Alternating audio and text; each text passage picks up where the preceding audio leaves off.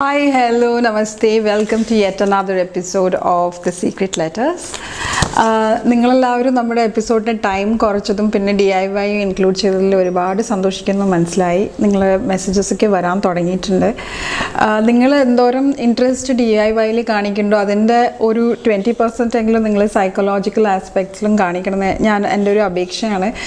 നമ്മുടെ പ്രോഗ്രാമിന്റെ ഉദ്ദേശം തന്നെ ആയിരുന്നു ഈ സൈക്കോളജിക്കൽ ഫാക്ടേഴ്സും ഇതിന്റെ നോളജൊക്കെ നമ്മൾ നിങ്ങളുമായി ഷെയർ ചെയ്യണം. കുറേ കൂടെ ആൾക്കാർക്ക് ഇതിനെക്കുറിച്ച് അറിയിക്കണം എന്നുള്ളതാണ്. ഡി ഐ വൈ ഒക്കെ വേണം അതൊക്കെ വളരെ നല്ല കാര്യമാണ്. പക്ഷേ ഇതിനെയും കൂടി നിങ്ങൾ ഒന്ന് ആക്സെപ്റ്റ് ചെയ്ത് നിങ്ങളുടെ ലൈഫിൽ അപ്ലൈ ചെയ്യാൻ പറ്റുവാണെങ്കിലും കൂടി നിങ്ങൾ ചെയ്യണം കേട്ടോ. സോ ഇന്നും നമുക്ക് പതിവ് പോലെ തന്നെ ലെറ്റർ വന്നിട്ടുണ്ട്. എല്ലാ പ്രാവശ്യം പറയുന്ന പോലെ ഇപ്രാവശ്യം വളരെയധികം ഇമ്പോർട്ടന്റ് ആയിട്ടുള്ള ഒരു ടോപ്പിക്കാണ് നമ്മൾക്ക് ഡീൽ ചെയ്യാനുള്ളത്. സോ ഈ കത്ത് എഴുതിയത് ഒരു ഫാദറാണ് ഫാദറും മദറും ഒരുമിച്ചാണ്. പക്ഷെ മെയിൻലി ഇത് അയച്ചു തന്നിട്ടുള്ളത് അച്ഛനാണ്. നമുക്ക് അവരെ റാം എന്ന് വിളിക്കാം കേട്ടോ. സോ റാം ലവ് മാരേജ് ആണ് ചെയ്തത്. ചെറുപ്പം മുതൽ ഇഷ്ടപ്പെട്ട ഒരാളാണ് കല്യാണം കഴിച്ചത്. ഒരുപാട് സ്നേഹമൊക്കെ ഉണ്ടായിരുന്നു. അവർ പിന്നെ കല്യാണം കഴിച്ച് കുട്ടിയായതിന് ശേഷമാണ് കുറേ പ്രശ്നങ്ങളും കുറേ മിസ്അണ്ടർസ്റ്റാൻഡിങ്സും ആർഗ്യുമെൻസും എല്ലാം വരാൻ തുടങ്ങിയത്. അത് ഇച്ചിരി കോമൺ ആയിട്ടുള്ള ടോപ്പിക്കാണ് കേട്ടോ. ഈ കല്യാണത്തിന് ശേഷം പ്രശ്നങ്ങളും കുട്ടികളായ ശേഷം പ്രശ്നങ്ങളും ഇതൊക്കെ ഒരുപാട് നമ്മൾ എല്ലാവരും പറയുന്നത് കേട്ടിട്ടുണ്ടാവും. സോ അതിനെക്കുറിച്ച് ഞാൻ എന്തായാലും അടുത്ത വീഡിയോ അതിനെക്കുറിച്ച് ചെയ്യാം ഞാൻ. പക്ഷേ ഇന്നത്തെ ദിവസത്തിൽ അതല്ല നമ്മൾ ഡിസ്കസ് ചെയ്യാൻ പോണത്. ഈ കത്തിലുള്ളത് എന്താണെന്ന് വെച്ചാൽ അവർ ഒരുപാട് അടികൂടുമായിരുന്നു ഒരുപാട് ആർഗ്യുമെന്റ്സ് ഉണ്ടാവുമായിരുന്നു. സാധനങ്ങളൊക്കെ അടച്ചുടയ്ക്കുന്ന അതുപോലെ ഉള്ളൊരു ഹാബിറ്റ്സിലോട്ട് അവർ ഡെവലപ്പ് ഡെവലപ്പ് ചെയ്തു. ഒരുപാട് സ്നേഹിച്ചിരുന്ന ആൾക്കാരാണ് പക്ഷെ ഒരു കുട്ടി ജനിച്ച് കുറച്ച് നാളാകുമ്പോഴത്തേക്ക് അത് കംപ്ലീറ്റ്ലി ഓപ്പോസിറ്റ് ആയിട്ട് മാറി. അപ്പോൾ അങ്ങനെ ഇരിക്കുമ്പോഴാണ് കുട്ടി ഇച്ചിരി വലുതായി സ്കൂളിലൊക്കെ പോകുമ്പം സ്കൂളിൽ ഒരുപാട് കംപ്ലയിന്റ്സ് വരാൻ തുടങ്ങി. എന്ന് പറഞ്ഞാൽ കുട്ടി നന്നായിട്ട് പെർഫോം ചെയ്യില്ല. എല്ലാത്തിലും ഇച്ചിരി പുറകോട്ടാണ്. എന്തോ ഒരു പ്രശ്നമുള്ളത് പോലെ തോന്നുന്നു. നമ്മൾ രണ്ട് മൂന്ന് പ്രാവശ്യം പറഞ്ഞാലേ കുട്ടിക്ക് മനസ്സിലാവുള്ളൂ. അങ്ങനെ പറയാൻ തുടങ്ങി. അങ്ങനെ പറയാൻ തുടങ്ങിയപ്പോഴാണ് അവർ ഒരു പേരന്റ് അവരെ സജസ്റ്റ് ചെയ്തത് ഒരു എഡ്യൂക്കേഷണൽ സൈക്കോളജിസ്റ്റിന്റെ അടുത്തോ ഇല്ലെങ്കിൽ ഒരു സൈക്കോളജിസ്റ്റിന്റെ ഒരു സ്കൂൾ കൗൺസിലറോ ആരെങ്കിലും ഒന്ന് കാണിക്കുന്നത് ബെറ്റർ ആയിരിക്കും. എന്താണ് പ്രശ്നം എന്നില്ല നോക്കണം എന്നുള്ളത്.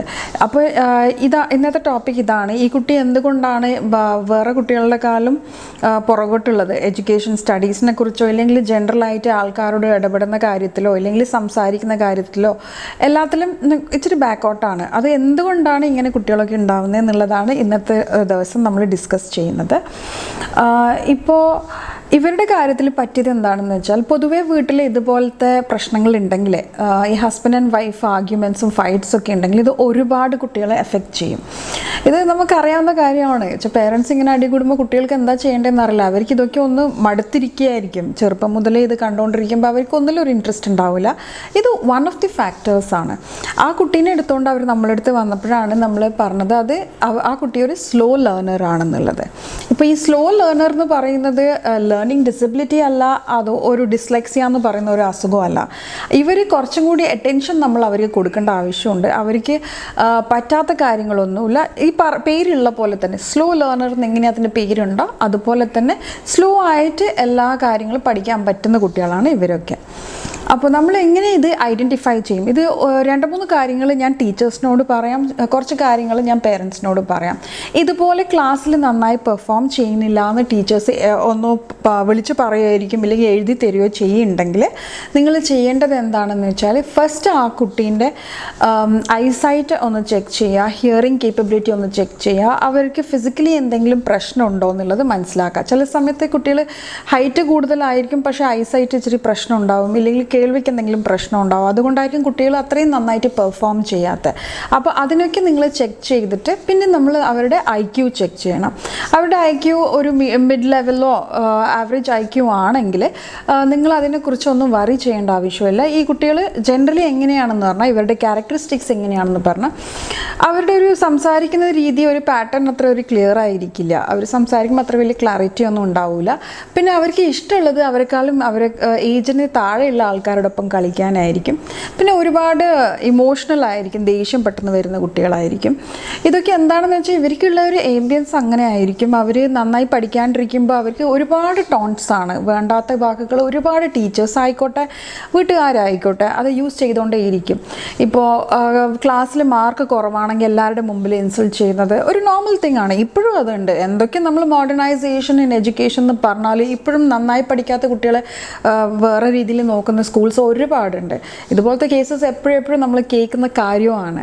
അപ്പോൾ വീട്ടിലോട്ട് പോകുമ്പം നിങ്ങളുടെ സിസ്റ്ററിന്റെ കുട്ടിയായിട്ട് കമ്പയർ ചെയ്യുക ഇല്ലെങ്കിൽ വീട്ടിന്റെ അടുത്തുള്ള കുട്ടിയായിട്ട് കമ്പയർ ചെയ്യുക ഓരോ പേരുകൾ വിളിച്ച് പറയുക ഇൻസൾട്ട് ചെയ്യുക ഇതൊന്നും ചെയ്യരുത് നിങ്ങൾ ബിക്കോസ് കുട്ടികൾ ഓരോ ഓരോ കുട്ടികളും ഓരോരോ ടൈപ്പാണ് ഈച്ച് വൺ ഇസ് ഡിഫറെന്റ് നമ്മളെങ്ങനെ പറയും? ഇവരൊക്കെ നമുക്ക് നന്നാക്കി എടുക്കാൻ പറ്റും. ഇപ്പോൾ ഞാൻ നേരത്തെ പറഞ്ഞ ഈ ലേണിംഗ് ഡിസബിലിറ്റി എന്ന് പറഞ്ഞ കുറച്ചും കൂടി അതൊരു കുറച്ചും കൂടി അറ്റൻഷൻ മാത്രമല്ല അവർക്ക് ഒരു എക്സ്ട്രാ ട്രെയിനിങ് നമുക്കൊരു ഗൈഡൻസ് കൂടുതൽ കൊടുക്കേണ്ട ആവശ്യമുണ്ട്. ഇവർക്ക് നമ്മളെങ്ങനെ സമയം കൊടുക്കണം എന്ന് പറയുന്നു. അതുപോലെ അവർക്ക് കുറച്ചും കൂടി കൂടുതലാണ്. അവരുടെ ഇഷ്യൂസ് ടോട്ടലി ഡിഫറെന്റ് ആണ്. ഞാൻ വേറെ തന്നെ ഒരു സെഗ്മെന്റ് അതിന് വേണ്ടി ചെയ്യേണ്ടി വരും. അതിന്റെ സിംറ്റംസും കാര്യങ്ങളൊക്കെ ഞാൻ ഡീറ്റെയിൽ ആയി പറയേണ്ടി വരും. പക്ഷേ ഇതിന്റെതാണെങ്കിൽ ഞാൻ ക്ലിയർ ആയി പറഞ്ഞ പോലെ തന്നെ ആ പേരിലുള്ള പോലെ തന്നെ സ്ലോ ലേണേഴ്സ് ആണ്. കുറച്ച് ബാക്കൗട്ടാണ് കുറച്ച് സമയമെടുത്ത് അവർ പഠിക്കും. പഠിക്കാൻ പറ്റാത്ത കുട്ടികളൊന്നുമല്ല സോ ഇവർക്ക് നമ്മൾ ചെയ്യേണ്ട കാര്യം ഇപ്പോൾ സ്കൂൾ ടീച്ചേഴ്സ് ആണെങ്കിൽ ഞാൻ ഇതുവരെ പറഞ്ഞ പേരൻസിനെ കുറിച്ചായിരുന്നു ഇപ്പോൾ സ്കൂൾ ടീച്ചേഴ്സ് ആണെങ്കിൽ ക്ലാസ്സിലുള്ള കുട്ടികൾ ഇച്ചിരി ബാക്കൗട്ട് ആണെങ്കിൽ നമ്മൾ ഐഡന്റിഫൈ ചെയ്യേണ്ട കാറ്റഗറൈസ് ചെയ്യാൻ പറ്റുന്ന മൂന്ന് ടൈപ്സ് ഓഫ് കുട്ടികൾ നമുക്ക് കാണാൻ പറ്റും. ചില ആൾക്കാർക്ക് എല്ലാം അറിയാം എല്ലാം പഠിച്ചിട്ടുണ്ടാവും എല്ലാം അറിയാം. പക്ഷേ അവർക്ക് സംസാരിക്കാനോ എഴുന്നേറ്റ് നിന്ന് ആൻസർ ചെയ്യാനോ ഒരു പ്രസന്റേഷൻ കൊടുക്കാനോ ഇല്ലെങ്കിൽ കൈ പോലും പൊക്കാൻ നാണോ ഇല്ല കുട്ടികളുണ്ടാവും. അപ്പം അതിന്റെ അർത്ഥം അവർക്ക് അവർ സ്ലോ ലേണേഴ്സ് ആണെന്നല്ല അവർ ഷൈ ചിൽഡ്രൻ ആണ്. അതേപോലെ തന്നെ വേറൊരു കാറ്റഗറി ഉണ്ടാവും. അവർ ഒരുപാട് ബോറിംഗ് ആയി തോന്നും. ഈ ക്ലാസ്സിൽ നിങ്ങൾ എത്ര ഇൻട്രാക്റ്റീവ് ആക്കി ചെയ്താലും എന്ത് ചെയ്താലും അവർക്ക് ഒരുപാട് ബോറിംഗ് ആയിട്ട് തോന്നും ഈ എഡ്യൂക്കേഷൻ സ്റ്റൈൽ അപ്പോൾ അവർക്ക് ഗെയിംസും ആക്ടിവിറ്റീസും ഒക്കെ ഇൻക്ലൂഡ് ചെയ്യുമ്പോൾ ആയിരിക്കും നമ്മൾ ഏറ്റവും ഓ ഈ കുട്ടിക്കൊന്നും അറിയില്ല എന്ന് വിചാരിച്ച കുട്ടികളൊക്കെ സൂപ്പർബായിട്ട് പെർഫോം ചെയ്യുന്ന അതുപോലത്തെ ഇന്ററാക്റ്റീവ് ക്ലാസ്സസിലായിരിക്കും അപ്പോൾ ആ കുട്ടികളൊക്കെ മോട്ടിവേഷൻ ബേസ്ഡ് സ്റ്റുഡൻസ് എന്ന് പറയും നമ്മൾ അവർക്ക് മോട്ടിവേഷൻ ഉണ്ടെങ്കിലേ അവർ വർക്ക് അവരുടെ ബെസ്റ്റ് വർക്ക് ഫോർവേഡ് ചെയ്യുള്ളൂ. പിന്നെ ഒരു കാറ്റഗറിയാണ് ഈ കുട്ടികൾ. ഇപ്പോൾ നമ്മൾ നന്നായി പഠിക്കാത്ത കുട്ടികൾ എന്ന് പറയുന്ന ഒരു കാറ്റഗറി നമ്മൾ ഉണ്ടാക്കുന്നുണ്ടെങ്കിൽ ഇതുപോലെ മൂന്ന് കാറ്റഗറീസ് നമുക്ക് ചെയ്യാം. I'm not talking about children with lower I Q. ഞാൻ സംസാരിക്കുന്ന average I Q and above. അപ്പോൾ ഇതുപോലെയുള്ള കുട്ടികൾ നമ്മൾ വേറൊരു ഗ്രൂപ്പ് ഓഫ് പിള്ളേരുണ്ടാവും അവരോട് രണ്ട് മൂന്ന് പ്രാവശ്യം പറഞ്ഞാലേ അവർക്ക് മനസ്സിലാവുള്ളൂ. അവരടുത്ത് ഇരുന്ന് എഴുതി കൊടുത്താലേ അവർക്ക് മനസ്സിലാവുള്ളൂ. ആ ഗ്രൂപ്പിലുള്ള കുട്ടികളാണ് ഈ സ്ലോ ലേണേഴ്സ് എന്ന് പറയുന്ന കുട്ടികൾ. അപ്പോൾ ഈ അച്ഛനും ഈ കത്ത് എഴുതിയ അച്ഛന്റെ വീട്ടിലുള്ളത് അതുപോലെയുള്ള ഒരു കുട്ടിയാണ്. അപ്പോൾ ഇതുപോലെയുള്ള കുട്ടി നിങ്ങളുടെ വീട്ടിലുണ്ടെങ്കിൽ നിങ്ങൾ എന്തൊക്കെയാണ് ചെയ്യേണ്ടത്? എന്തൊക്കെയാണ് നിങ്ങൾ കുറച്ച് പോയിന്റ്സ് ഞാൻ പറയാം. നിങ്ങൾ ഇതൊക്കെ ഫോളോ ചെയ്താൽ മതി. ഒരുപാട് ഡിഫിക്കൽട്ടൊന്നും അല്ല. ഇവരൊക്കെ സൂപ്പർബായിട്ട് പെർഫോം ചെയ്യും. നിങ്ങളുടെ ഒരു സപ്പോർട്ട് ഫസ്റ്റ് ഓഫ് ഓൾ നിങ്ങൾ വീട്ടിൽ അടി കൂടുന്ന ആൾക്കാരാണെങ്കിൽ ആ കുട്ടി ഉറങ്ങുന്നവരെയെങ്കിലും അടികൂടാണ്ടിരിക്കുക. കാരണം അത് വല്ലാണ്ട് ആ കുട്ടീനെ എഫക്റ്റ് ചെയ്യുന്നുണ്ടാവും ഓൾറെഡി സ്കൂളിൽ നന്നായി പഠിക്കില്ല പറഞ്ഞ് കുറേ ടോൺസ് ഉണ്ടാവും. വീട്ടിൽ വരുമ്പോഴത്തേക്ക് അച്ഛനും അമ്മയും കൂടി അടികിടുക എന്ന് പറഞ്ഞാൽ നമുക്ക് തന്നെ ആലോചിക്കുമ്പോൾ അറിയാലോ എന്തോരം വിഷമം ഉണ്ടാവും ആ കുട്ടിക്ക് എന്നുള്ളത്. സോ അതിനെ നിങ്ങൾ നിങ്ങളുടെ കുട്ടിക്ക് വേണ്ടി അതിനെ ഇച്ചിരി കുറക്കാം. അതല്ലാണ്ട് ഞാൻ വേറൊരു ഓപ്ഷൻ വേണമെങ്കിൽ തരാം. നിങ്ങൾ വാ കൊണ്ട് പറയാണ്ട് മൊബൈലിൽ ഇരുന്ന് അടികൂടുകയാണെങ്കിലും പ്രശ്നമില്ല. പക്ഷേ ആ കുട്ടീന്റെ മുമ്പിൽ വയലന്റായി ഇല്ലാണ്ടിരിക്കുക that's for first and foremost second thing എന്താ ചെയ്യേണ്ടതെന്ന് പറഞ്ഞാൽ അവർക്ക് വേണ്ടി ഒരു സൈലന്റ് പ്ലേസ് വേറെ ഡിസ്റ്റർബൻസ് ഒന്നും ഇല്ലാണ്ട് ബിക്കോസ് പെട്ടെന്ന് ഡിസ്റ്റർബ് ആവും ഈ കുട്ടികൾ എന്ന് വെച്ചാൽ ചെറിയ കാര്യം അതിൽ കൂടെ പോകുമ്പോൾ അറ്റൻഷൻ അങ്ങോട്ടായിരിക്കും പോവുക. അവർക്ക് പറഞ്ഞു കൊടുക്കുന്ന കാര്യത്തിലോട്ട് ഇൻട്രസ്റ്റോ അറ്റൻഷനോ ഉണ്ടാവില്ല സോ അവർക്ക് കുറച്ച് സൈലന്റ് ആയിട്ട് കാമായിട്ടുള്ള ഏരിയയിലോട്ട് ഇരുത്താം. പിന്നെ അവരെ ട്യൂട്ടറിങ് ഇല്ലെങ്കിൽ ട്യൂഷന് അയക്കുന്ന നന്നായിരിക്കും. അതുപോലെ ഇതുപോലത്തെ സ്ട്രിക്റ്റ് ട്യൂഷൻ ടീച്ചേഴ്സിന്റെ ഒന്നുമല്ല ഞാൻ പറയുന്നത് ഈ കാര്യം മനസ്സിലാക്കി അടുത്തിരുന്ന് സ്നേഹത്തോടെ പറഞ്ഞു കൊടുക്കാൻ പറ്റുന്ന ടീച്ചേഴ്സിനെ നിങ്ങൾ കണ്ടുപിടിക്കണം. എക്സ്ട്രാ ഞാൻ പറയുന്നത് ഈ ട്യൂട്ടറിങ് അല്ലെങ്കിൽ ട്യൂഷൻസ് എന്ന് പറയുന്നില്ല നമ്മൾ അങ്ങനെ ചെയ്യാൻ വേണ്ടി ഒരു നല്ലൊരു ടീച്ചറെ കണ്ടുപിടിക്കണം. ഇവർ ഒരു ഇവർക്ക് സമയമെടുത്ത് പഠിക്കുന്ന ആൾക്കാരായതുകൊണ്ട് ഇവർക്ക് ഒരുപാട് ഇൻഫ്ലുവൻസ് ചെയ്യുന്ന കുറച്ച് കാര്യങ്ങളുണ്ട്.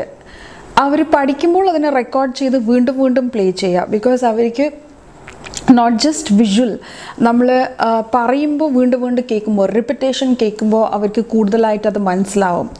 കൂടെ കൂടെ നമ്മൾ റിപ്പീറ്റ് ചെയ്തുകൊണ്ടേ ഇരിക്കുമ്പോഴാണ് അവർക്ക് ഓഡിറ്ററി ആയിട്ടും വിഷ്വൽ ആയിട്ടും കോഡ് ചെയ്യാൻ പറ്റുക. ഇൻഫർമേഷൻ ആയിക്കോട്ടെ നോളജ് ആയിക്കോട്ടെ അവർക്ക് അതുപോലെ സേവ് ചെയ്ത് വെക്കാൻ പറ്റുള്ളൂ.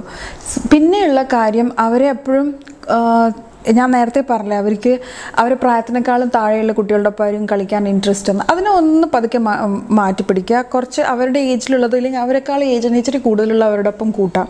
കൂട്ടിയിട്ട് പഠിക്കാൻ നന്നായി നന്നായിട്ടുള്ള കുട്ടികളെ നമ്മൾ ക്ലബ് ചെയ്യുക. സ്കൂളിലാണെങ്കിൽ പണ്ട് മുതലേ കണ്ടുകൊണ്ട് വരുന്നതാണ് ഒരു നന്നായി പഠിക്കുന്ന കുട്ടീന്റെ ഒപ്പം ഒരു അത്ര നന്നായി പഠിക്കാത്ത കുട്ടീനെ ഇട്ട് കഴിഞ്ഞാൽ അവർ രണ്ടുപേരും ഒരുമിച്ച് നന്നായിട്ട് പഠിക്കുന്ന ഒരു സിറ്റുവേഷൻസ് വരാറുണ്ട്. ഞാൻ പറയുന്ന ഈ നൈറ്റ് സ്റ്റഡിയോ ഗ്രൂപ്പ് സ്റ്റഡിയോ അതൊന്നും അല്ല ക്ലാസ്സിൽ തന്നെ ടീച്ചേഴ്സ് അവരിപ്പം നമുക്ക് അവരെ ഗ്രൂപ്പാക്കി വിട്ട് ഒരു വെരി നന്നായിട്ട് പഠിക്കുന്ന കുട്ടീന്റെ അപ്പം അത്ര നന്നായിട്ട് പഠിക്കാത്ത കുട്ടീനെ ഇടുക എന്ന് പറഞ്ഞാൽ അവർ രണ്ടുപേരും ഒരുമിച്ചിരുന്ന് പഠിക്കുകയാണെങ്കിൽ it's going to be a great help for them so ഇതാണ് വേറൊരു കാര്യം നമ്മൾ we we need to keep in our mind എഴുതി പഠിപ്പിക്കുക എന്ന് പറഞ്ഞാൽ if they write after revision ആണ് അവർക്ക് മെയിൻലി ഇമ്പോർട്ടന്റ് ബിക്കോസ് ഇവർ കൂടുതൽ സമയം എടുക്കാൻ പോകുന്ന കുട്ടികളല്ലേ? സോ നമ്മൾ അവർക്ക് വേണ്ടി എഴുതി പഠിപ്പിക്കുക കേട്ട് പഠിപ്പിക്കുക എന്തൊക്കെ നമ്മുടെ സെൻസസ് ഉണ്ട് അതൊക്കെ വെച്ചിട്ട് അവർക്ക് വീണ്ടും വീണ്ടും പഠിപ്പിക്കുകയാണെങ്കിൽ അവർക്ക് ഒന്ന് റേസ് ആവാൻ പറ്റുള്ളൂ. പിന്നെ ഓവറായിട്ട് ചെയ്യാനും പാടില്ല. നമ്മൾ കൂടുതലായി ചെയ്യുകയാണെങ്കിൽ അവർക്ക് വീണ്ടും ഫ്രസ്ട്രേഷൻ വരും. നമ്മൾ കറക്റ്റായ ഒരു ടൈം ടേബിൾ ഒരു ഷെഡ്യൂൾ മെയിന്റെയിൻ ചെയ്തിട്ട് റീഡിങ്ങും ലിസ്ണിങ്ങും റൈറ്റിങ്ങും എല്ലാം കൂടി നമ്മൾ ഇൻക്ലൂഡ് ചെയ്തിട്ട് വേണം അവരുടെ ഒരു ഷെഡ്യൂൾ ഉണ്ടാക്കാൻ.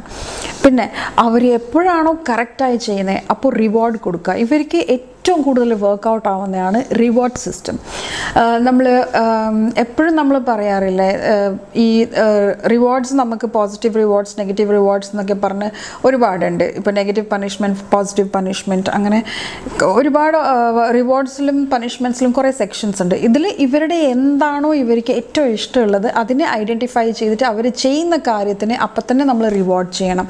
അവരെ എപ്രിഷിയേറ്റ് ചെയ്യണം. ആൾക്കാരെ മുമ്പിൽ എപ്രിഷിയേറ്റ് ചെയ്യണം. ഇവർക്ക് കോംപ്ലിമെന്റ്സും റിവാർഡ്സും സൂപ്പർബായിട്ട് വർക്ക് ചെയ്യുന്ന ഒരു കാര്യമാണ്.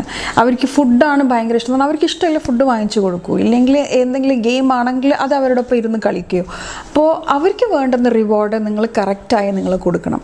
ഇതുപോലെ നിങ്ങളിപ്പം പുറത്ത് എങ്ങോട്ടെങ്കിലും കറങ്ങാൻ പോവുകയാണെങ്കിൽ വളരെയധികം ഇന്റലിജന്റ് ആയിട്ട് വേണം എങ്ങോട്ടാണ് നിങ്ങൾ പോകണത് ഇപ്പം നിങ്ങളുടെ ഫ്രണ്ട്സിന്റെ ഇടയിൽ തന്നെ ഉണ്ടാവും. കുറച്ചും കൂടി ആക്റ്റീവ് ആയിട്ടുള്ള പിള്ളേരുണ്ടാവും. ഈ കുട്ടീനെക്കാളും ഏജിൽ ഇച്ചിരി കൂടുതൽ ഏജുള്ള മേ ബി ഇവർ ഇപ്പം സെക്കൻഡ് സ്റ്റാൻഡേർഡ് ആണെങ്കിൽ ഒരു തേർഡിലോ ഫോർത്തിലോ പഠിക്കുന്ന കുട്ടികളുണ്ടാവും. കുറച്ചും കൂടി ആക്റ്റീവ് ആയിട്ടുള്ള കുട്ടികളുണ്ടാവും. നന്നായി പഠിക്കുന്ന കുട്ടികളുണ്ടാവും. അവരുടെ ഒപ്പം പോയി അവർക്ക് മിങ്കിൾ ചെയ്യാനുള്ള ഒരു ഓപ്പർച്യൂണിറ്റി നമ്മൾ കൊടുക്കണം. പിന്നെ എബോവ് ഓൾ എന്താണെന്ന് വെച്ചാൽ നിങ്ങൾ ഒരുപാട് പേഷ്യൻസ് വേണം. പേഷ്യൻസ് ആണ് ഇതിന് important like how I said earlier ഇവർക്ക് റിവാർഡ് ഇമ്പോർട്ടന്റ് ആണ്. നിങ്ങളുടെ പേഷ്യൻസ് ഇമ്പോർട്ടന്റ് ആണ്. ഒരു പ്രാവശ്യം പറഞ്ഞാൽ മനസ്സിലാവുന്ന കുട്ടികളല്ല. നമ്മളൊരു പത്ത് പ്രാവശ്യമൊക്കെ പറയേണ്ടി വരും. ആ കുട്ടിക്ക് ശരിക്കും മനസ്സിലാവണമെന്നുണ്ടെങ്കിൽ. അതുകൊണ്ടാണ് ഞാൻ പറഞ്ഞത് നിങ്ങൾ ഓൾറെഡി ഒരു വർക്കിംഗ് പേഴ്സൺ ആണെങ്കിൽ നിങ്ങൾക്ക് സമയം കൊടുക്കാൻ പറ്റുന്നില്ല എന്ന് വെച്ചാൽ ഒരു ട്യൂട്ടർ അത്യാവശ്യമാണ് നമ്മൾ ഈ സമയത്ത് ഇൻവെസ്റ്റ് ചെയ്താലേ ആ കുട്ടിക്ക് നന്നായിട്ട് പ്ലാൻ ചെയ്ത് മുന്നോട്ട് പോകാൻ പറ്റുള്ളൂ. സോ നമ്മൾ പിന്നെ എപ്പോഴും അവരെ എന്താ പറയുക ഒറ്റയ്ക്ക് വിടാൻ പാ ഒറ്റയ്ക്ക് വിടാൻ പാടില്ല പറഞ്ഞാൽ പുറത്ത് പോകാനോ ചെയ്യാനോ എന്നല്ല ഒറ്റപ്പെടുത്തരുത്. ഇതാണ് റൈറ്റ് വേർഡ് അപ്പം ഒറ്റപ്പെടുത്താൻ പാടില്ല. അതെന്താണെന്ന് വെച്ചാൽ നമ്മൾ ഇപ്പം ചില ആൾക്കാരൊക്കെ വന്നു എനിക്ക് ഇത്രയും മാർക്കുള്ളൂ എന്നൊക്കെ ചോദിക്കുമ്പോൾ നിങ്ങൾ അവർക്ക് വേണ്ടി ഒരു ഒരു ഒരു ജഡ്ജിനെ പോലെയോ ഒരു അഡ്വക്കേറ്റിനെ പോലെയോ നിന്ന് അവർക്ക് വേണ്ടി വാദിക്കണം. എന്ന് പറഞ്ഞാൽ അവർക്ക് സപ്പോർട്ട് ഉണ്ടെന്നുള്ള ഫീൽ നിങ്ങൾ കൊടുക്കണം. സോ ഇതുപോലെയൊക്കെ നമ്മൾ ചെയ്യുകയാണെങ്കിൽ we can see a lot of difference ഈ കുട്ടികളിൽ നമ്മൾ സ്റ്റെപ്പ് ബൈ സ്റ്റെപ്പായി തന്നെ ചെയ്യണം. പിന്നെ നിങ്ങൾ എപ്പോഴും ഒരു എഡ്യൂക്കേഷണൽ കൗൺസിലറിനോ ഇല്ലെങ്കിൽ ഒരു എഡ്യൂക്കേഷണൽ സൈക്കോളജിസ്റ്റിനോ ജനറൽ സൈക്കോളജിസ്റ്റിനോ ഒന്ന് കാണുന്നത് നല്ലതായിരിക്കും. ബിക്കോസ് ആസ് എ ഫാമിലി നിങ്ങളൊരു സപ്പോർട്ട് സിസ്റ്റം ഉണ്ടാക്കണം. എങ്ങനെയാണ് നമ്മൾ ഇതിനെ ടാക്കിൾ ചെയ്യാൻ പോണേ? ഈ കുട്ടീനെ എങ്ങനെയാണ് നമ്മൾ കൈപിടിച്ച് മുന്നോട്ട് കൊണ്ടുപോകാൻ പോകുന്നത്? നിങ്ങൾ നിങ്ങൾ ഫാമിലി ആയിട്ട് തന്നെ ഡിസൈഡ് ചെയ്യണം. സോ ഇതുപോലൊക്കെ നമ്മൾ കുഞ്ഞു കുഞ്ഞു കാര്യങ്ങൾ കുറച്ച് ചേഞ്ചസ് വരുത്തിയെന്ന് വെച്ചാൽ നമുക്ക് ഇവരെ ഹെൽപ്പ് ചെയ്യാൻ പറ്റും. സോ നമ്മൾ ഫസ്റ്റ് ഐഡന്റിഫൈ ചെയ്യേണ്ട കുട്ടീന്റെ പ്രശ്നം എന്താണെന്നുള്ളതാണ്. അപ്പോൾ ഈ കാറ്റഗറിയിൽ വരുന്ന എന്നുള്ളത് നിങ്ങൾ മനസ്സിലാക്കിയാൽ സ്ലോ ലേണർ കാറ്റഗറിയിലാണെങ്കിൽ ഇതുപോലൊക്കെ നമുക്ക് ചേഞ്ചസ് വരുത്തിയിട്ട് നന്നായിട്ട് ആ കുട്ടീനെ നന്നായിട്ട് നമുക്ക് സൂപ്പർബായിട്ട് മുകളിലോട്ട് വരുത്താൻ പറ്റും. എത്രയോ ആൾക്കാർ സ്ലോ ലേണേഴ്സ് ഇന്ന് നല്ല നല്ല പൊസിഷനിലുണ്ട് നന്നായിട്ട് ലൈഫ് മുന്നോട്ട് കൊണ്ടുപോകുന്നുണ്ട് സോ ഇതൊന്നും വലിയ പ്രശ്നമല്ല. പക്ഷെ നിങ്ങളുടെ ഒരു സപ്പോർട്ടും നിങ്ങളുടെ നിങ്ങളുടെ ഒരു ബാക്ക് അവർക്ക് അത്യാവശ്യമാണ്. അവരുടെ അവർക്ക് അറിയണം എന്തെങ്കിലും പറ്റിയെന്ന് പറഞ്ഞാൽ ബാക്കിൽ ഒരാൾ ഗൈഡ് ചെയ്യാനുണ്ടെന്ന് അറിയുമ്പോൾ തന്നെ ഒരു കോൺഫിഡൻസ് ആയിരിക്കും. സോ അതുപോലെ നമ്മൾ അവരെ ട്രെയിൻ ചെയ്ത് മുന്നോട്ട് കൊണ്ടുപോകാൻ പറ്റും. ഓക്കെ സോ ഇന്നത്തെ ടോപ്പിക് സ്ലോ ലേണേഴ്സിനെ കുറിച്ചായിരുന്നു. എന്തെങ്കിലും ഇതിനെക്കുറിച്ച് ഡൗട്ട് ഉണ്ടെങ്കിൽ എന്തായാലും എഴുതി നമ്മളോട് ചോദിക്കാം. ഞാൻ അതിനെക്കുറിച്ചൊക്കെ ആൻസർ ചെയ്യാം. എന്തെങ്കിലും വേറെ രീതിയിൽ നിങ്ങൾക്ക് ഹെൽപ്പ് വേണമെന്ന് വെച്ചാൽ സ്പെഷ്യലി കിഡ്സിന്റെ എഡ്യൂക്കേഷനെ കുറിച്ച് നിങ്ങൾക്ക് എന്തെങ്കിലും ഡിസ്കസ് ചെയ്യണമെന്ന് ആഗ്രഹം ഉണ്ടെങ്കിൽ ആ ടോപ്പിക്സും കൂടി നമുക്ക് എഴുതാം. താഴെ കോമന്റ് ബോ കോമെന്റ് സെക്ഷനിൽ നിങ്ങൾക്ക് എന്തെങ്കിലും ഡിസ്കസ് ചെയ്യാൻ ആഗ്രഹം ഉണ്ടെങ്കിൽ എഴുതാം കേട്ടോ ഞാൻ അത് അവിടെ തന്നെ ഡിസ്കസ് ചെയ്യാം. ഇല്ലെങ്കിൽ നിങ്ങൾക്ക് നമ്മളെ ഇമെയിൽ അഡ്രസ്സിലോട്ട് ഡീറ്റെയിൽസ് ഒക്കെ അയക്കാം. അതൊക്കെ ഇവിടെ കാണണ്ടാവും ഇമെയിൽ അഡ്രസ്സൊക്കെ ഇവിടെ കാണണ്ടാവും സോ ഇതൊക്കെയാണ് ഇന്നത്തെ എപ്പിസോഡിൽ ഇതല്ലാണ്ട് നിങ്ങൾ പലരും ചോദിച്ച ഒരു ഡി ഐ വൈ വീഡിയോയും കൂടിയുണ്ട് അപ്പോൾ ഞാൻ ഇന്ന് ഒരുപാട് ഡ്രൈ ഹെയർ ഉള്ള ആൾക്കാർക്ക്. എങ്ങനെയാണ് നമ്മളൊന്ന് ഡീപ്പ് കണ്ടീഷനിങ് ആ, ഞാൻ കാണിക്കാം. ഇറ്റ്സ് ഈസി ചില സമയത്ത് കാണൂലേ ഒരു ഒരു സ്ട്രോ പോലെ മുടി ഉണ്ടാവും എഡ്ജസ് ഒക്കെ സ്പ്ലിറ്റൻസ് ആയിട്ട് ഭയങ്കര ഡ്രൈ ആയിട്ടുണ്ടാവും. കാണുമ്പോൾ തന്നെ ഒരു ഭംഗി ഒരു ലൈഫ്ലെസ് ആയിട്ടുണ്ടാവും ഡൾ ആയിട്ടുണ്ടാവും മുടി. അതിന് വേണ്ടിയിട്ടുള്ള ഒരു ഡി ഐ വൈ ഞാൻ കാണിക്കാം. Okay so here it goes